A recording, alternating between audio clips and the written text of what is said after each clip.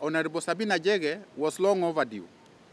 Sabina Chege and uh, our, our colleagues, Kanini Kega, particularly Kanini Kega and the rest, they had already shown interest to work with the, with the current government, KK government, while they are in the opposition.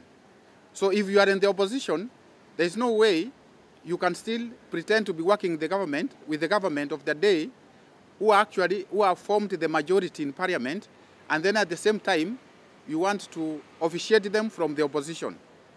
So we appreciate that and we support the position that was upheld yesterday by the speaker, Honorable Wetang'ula.